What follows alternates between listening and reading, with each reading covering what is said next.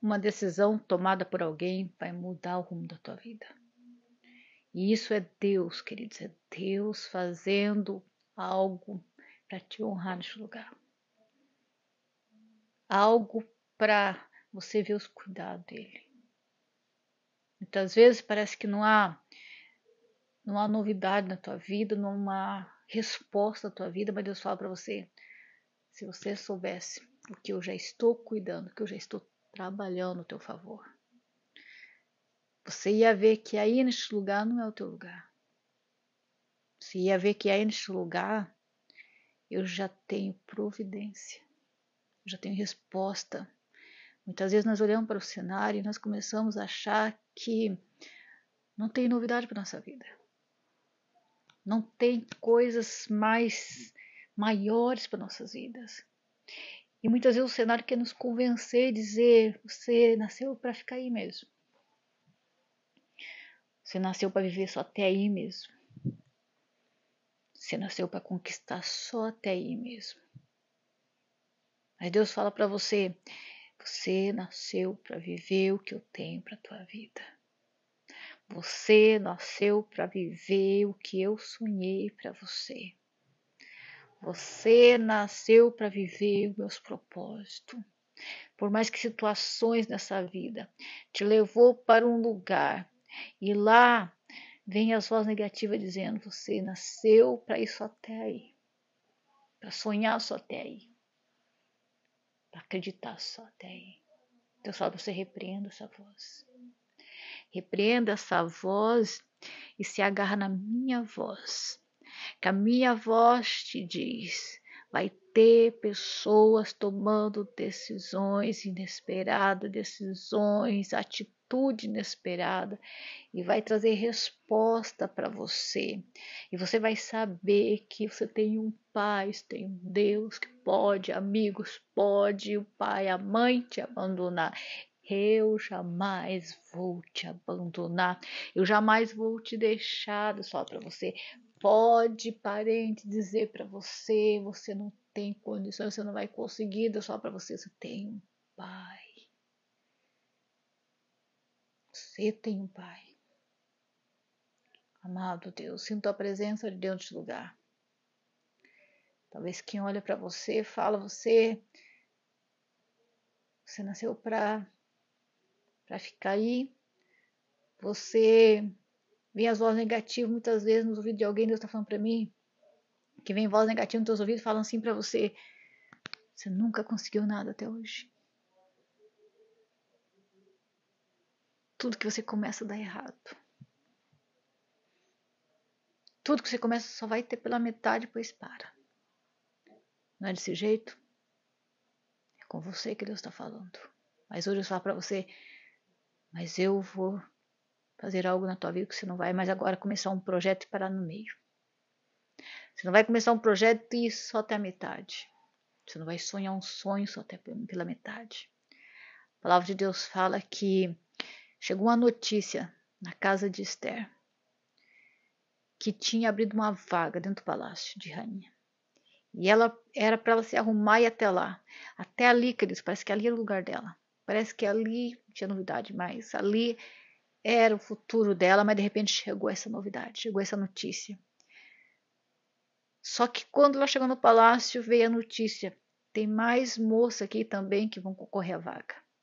Você vai ficar aqui passando por uma seleção, você vai aqui passar por um processo para ser escolhida e se for escolhida. Parecia que era algo que tinha sido uma ilusão, sabe? Parecia que algo chegou na vida dela, mas era uma, uma coisa incerta. Só que o céu não faz coisa incerta. Talvez algo na tua vida pareça uma incerteza. Será que vai dar certo? Será que um dia eu vou realizar? Oramana, suinamana. Será que vai chegar na minha vida? Deus fala para você: não faz coisa incerta.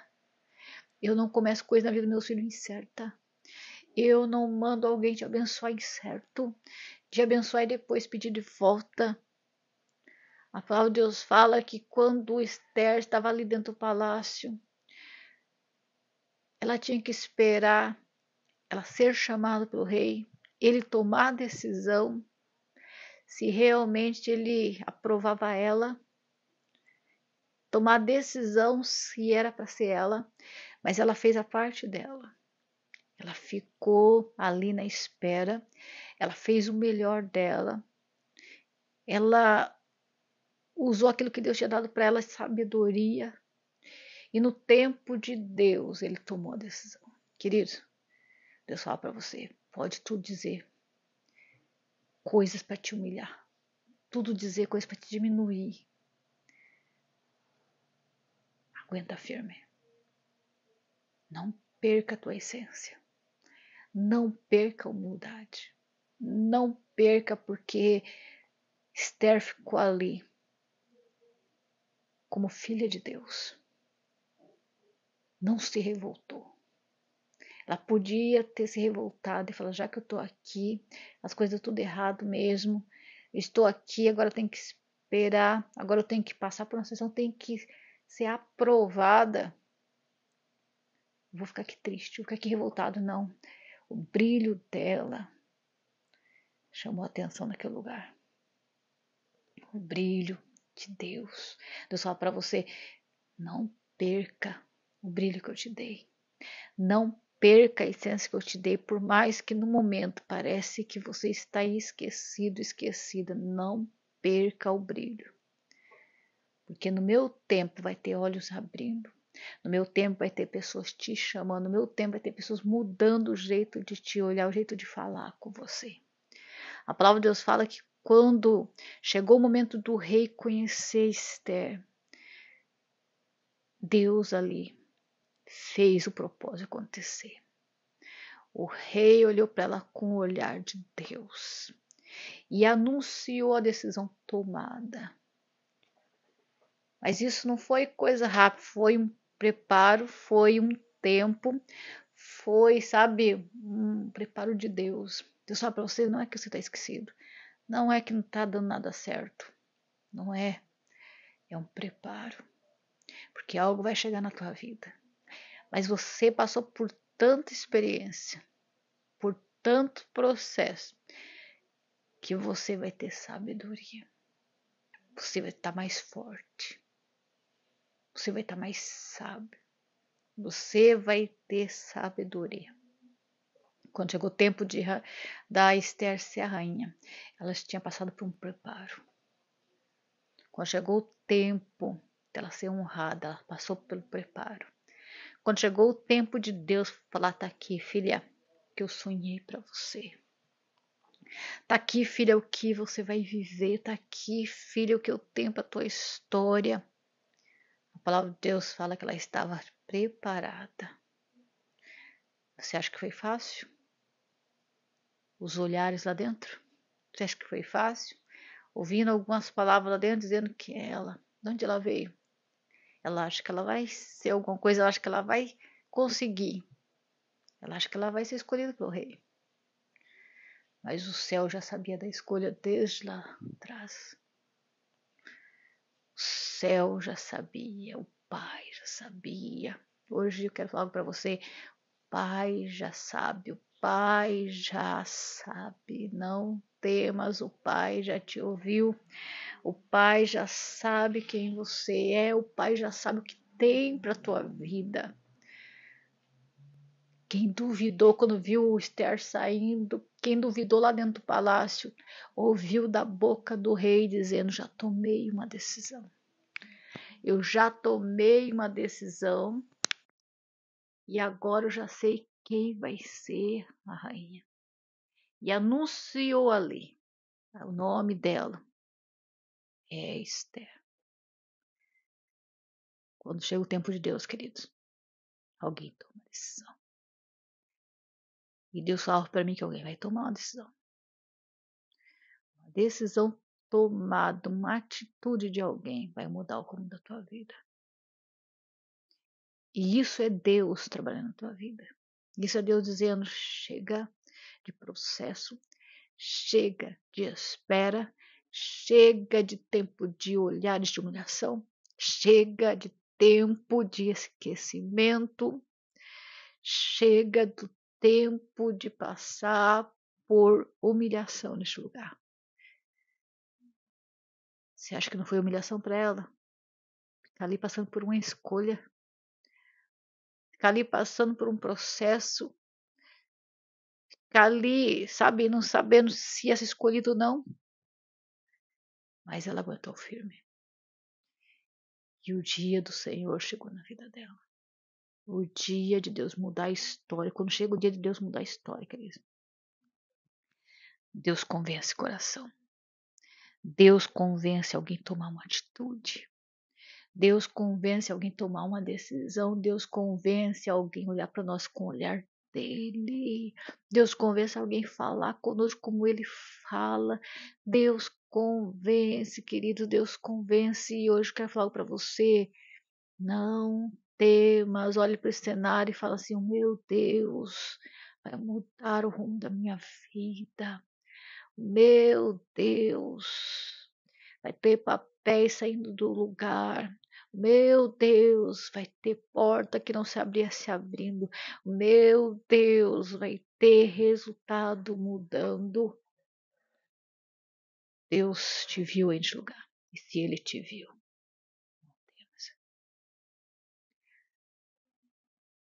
Deus te viu neste lugar. Sinto autoridade, a presença de Deus para falar isso para você. Deus já te viu. Se ele te viu, não temas. Não temas pelos olhares. Oh Deus, não temas pelas rejeição, não tema pelos desprezos, não tema pelos, não, não tema. Quem te escolheu é teu pai. Quem te chamou é teu pai. Quem falou, eu te chamei. A palavra de Deus fala que Deus fala, não foi vocês que me escolheu, foi eu que escolhi vocês. E nomeei para algo grande. Deus, ele nos chamou, queridos, ele não chamou errado. Não chamou por erro, nem por coincidência, ele chamou com propósito. Os olhos de Deus lá no céu olhou para Esther naquele lugar e chamou com propósito. O olhar de Deus no céu olhou para Esther, chamou com propósito. E não era simplesmente para ir lá e ser rainha, era para ser alguém para defender o povo, alguém para mais tarde ser ali alguém que representasse Deus. Deus é fiel, queridos. Deus tem algo, algo grande na tua vida para você também mais tarde abençoar alguém da tua família, abençoar alguém próximo, abençoar alguém que vai precisar. Deus nunca pensa em nós individual, ele pensa em nós e mais pessoas. Deus tem pensamentos grandes para tua vida. Deus tem pensamento grande para tua vida aí. Eu vou ler a palavra, em seguida quero fazer uma oração por você. Quero que você apresente a Deus algo que você quer uma direção na tua vida. Quero que você apresente a Deus algo que você precisa de uma direção na tua vida. A palavra de Deus fala, é, Esther 2, a partir do 17. A partir do 16, assim foi levada Esther ao rei Assuero, a sua casa real. No décimo mês, que é o mês de No sétimo ano do seu reinado. E o rei amou Esther mais do que todas as mulheres e alcançou perante ele graça e benevolência mais do que todas as virgens. Ele pôs a coroa real na sua cabeça e fez rainha no lugar de Vashti. Queridos, o que é para ser nosso, nada vai impedir. Pode até vir voz negativa, pode vir rejeições, pode vir. Mas que Deus vai levar nós até lá, vai. Quero orar por você, apresenta a Deus que você precisa de uma decisão, que você precisa de um, uma direção na tua vida. Amado Deus, de poder, para onde nós iremos sem a tua presença? Mas estamos aqui, Pai, apresentando, Pai, a nossa vida, as decisões, as direções. Deus de poder, dá a direção para o teu filho e para a tua filha, Pai, que eles venham ver as tuas mãos Que eles venham ver algo chegando na história deles em nome de Jesus. Amém, queridos? Deus abençoe. Fique com Deus. Se você não é inscrito aqui no meu canal, ainda se inscreva. É gratuito. Aperte de notificações na opção todas. Deixe aqui nos comentários. Deus falou comigo. E eu vou estar orando por você. Amém? Deus abençoe.